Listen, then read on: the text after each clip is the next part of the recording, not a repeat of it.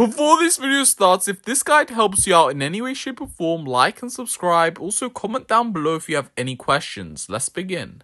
Hey everyone, welcome back to the channel. Today I'm going to show you how to go ahead and install Streamlabs on a Chromebook. So let's go ahead and begin with today's video, guys. I love you so much, guys. I don't know if that was necessary. I'm sorry for my amazing singing, guys. Let's begin. Alright, guys. So first you click on this dot right here. And then you click on uh, Play Store. And then, guys, you click on Search App and Games. And you just simply type up Streamlabs. Okay. And click Enter. Type. And then right here, it's going to say Streamlabs you simply want to go ahead and download Streamlabs right here.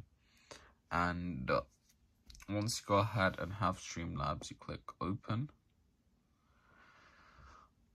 And um, and yeah, that's how you guys go ahead and get Streamlabs. So you click open and yeah, you get Streamlabs here. So if you guys enjoyed and peace out.